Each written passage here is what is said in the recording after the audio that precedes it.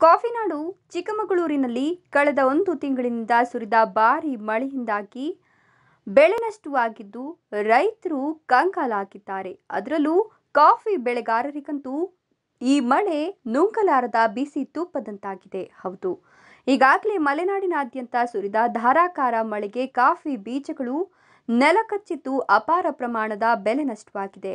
ಬೆಲೆ ಕುಸಿತ ಕೆಲಸಗಾರರ ಸಮಸ್ಯೆಯ ಆತಂಕದಲ್ಲಿದ್ದ ಬೆಳೆಗಾರರಿಗೆ ಈ ಮಳೆ ಗಾಯದ ಮೇಲೆ ಬರೆ ಎಳೆದಂತಾಗಿದೆ. ಹೌದು, ಅವಧಿಗೂ ಮುನ್ನವೇ ಹಣ್ಣಾಗಿರೋ ಕಾಫಿಯನ್ನು ಉಳಿಸಿಕೊಳ್ಳಲಾಗದೆ ಬೆಳೆಗಾರರು ಅಸಹಾಯಕರಾಗಿದ್ದಾರೆ. ಚಿಕ್ಕಮಗಳೂರು ಜಿಲ್ಲೆಯ ಮೂಡಿಗೆರೆ, ಶೃಂಗೇರಿ, ಕೊಪ್ಪ, ಎನ್ಆರ್ಪುರ ಸೇರಿದಂತೆ ಮಲೆನಾಡು ಭಾಗದಲ್ಲಿ ಭಾರಿ ಪ್ರಮಾಣದಲ್ಲಿ ಕಾಫಿ ಫಸಲು ಮಣ್ಣು ಪಾಲಾಗಿದೆ.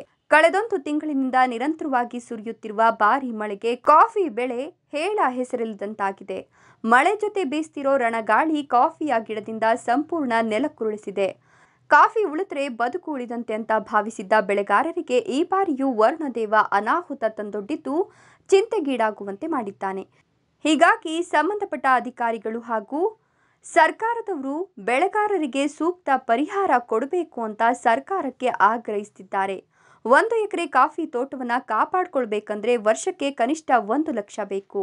ಆದರೆ ಸತತ ಮೂರನೇ ವರ್ಷ ಕಾಫಿ ಬೆಳೆಗಾರರು ಕಾಫಿಯನ್ನು ಕಳೆದುಕೊಳ್ಳುತ್ತಿರೋದ್ರಿಂದ ಭವಿಷ್ಯದಲ್ಲಿ ಏನಾಗುತ್ತೋ ಅಂತ ಆತಂಕದಲ್ಲಿ ಈಗ ರೈತರಿದ್ದಾರೆ. ಹೀಗಾಗಿ ಕಾಫಿ ಬೆಳೆಗಾರರ ಸಂಕಷ್ಟಕ್ಕೆ ಸರ್ಕಾರ ಸ್ಪಂದಿಸಬೇಕಿದೆ ಅಂತ ಆಗ್ರಹಿಸುತ್ತಿದ್ದಾರೆ ಕೆಲಸಗಾರರದು ದುಸ್ಥಿತಿಯಾಗಿದೆ. ಯಾಕೆಂದರೆ ಈ ಕಾಫಿ ಬೆಳೆಗಾರರಿಗೆ ಅಕಾಲಿಕ ಮಳೆ ಮತ್ತು ಜಲ್ದಿ ಬಂದಿರೋ ಕಾಫಿಯಿಂದ ಅವರಿಗೆ ಕೈಗೆ ಎಟಕಾಲಂತ ತೊಂದರೆ ಆಗಿದೆ.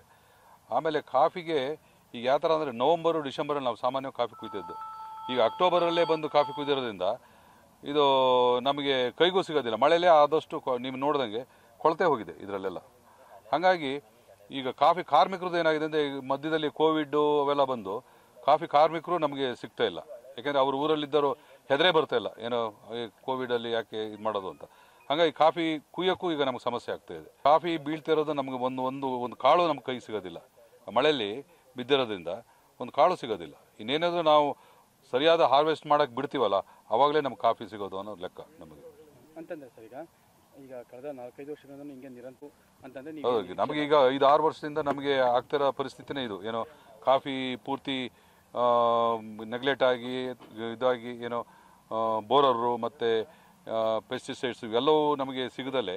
ಬೋರರ್ ಸಿಕ್ಕಾಪಟ್ಟೆ ಬೋರರ್ ಆಗಿ ಕೆಲವರು ತರ್ಟಿ ಟು ಫಾರ್ಟಿ ಪರ್ಸೆಂಟು ಗಿಡ ಕಿತ್ತಾಕಿದ್ದಾರೆ.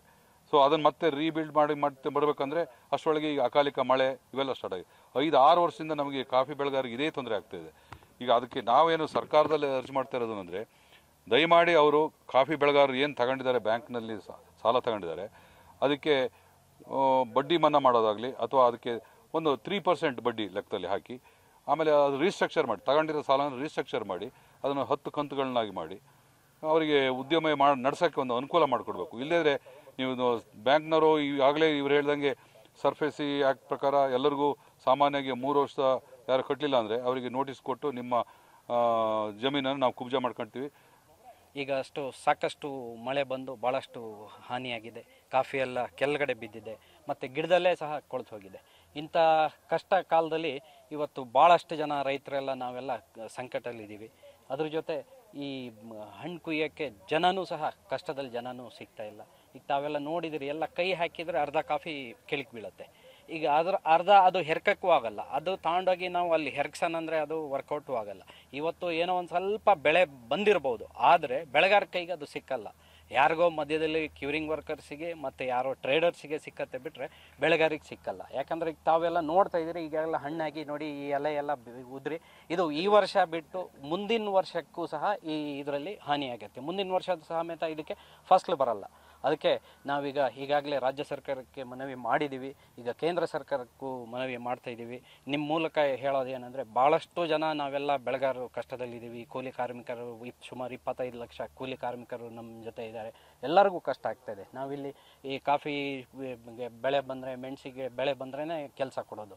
ಈಗ ನಾವೇನು ಮಾಡಿದ್ದೀವಿ ವರ್ಷಕ್ಕೆ ವಾರಕ್ಕೆ ಆರು ಕೆಲಸ ಕೊಡೋ ಬದಲಿಗೆ ಮೂರು ಮೂರು ಕೆಲಸ ಕೊಡ್ತಾ ಇದ್ದೀವಿ ಕಷ್ಟದಲ್ಲಿದ್ದೀವಿ ಈಗ ಈ ಜನವರಿ ತಿಂಗಳಲ್ಲಿ ಏನು ಮಳೆ ಆಯಿತು ಅಲ್ಲಿಂದ ನಮಗೆ ಬೇಗ ಹಣ್ಣು ಬಂದುಬಿಟ್ಟಿದೆ.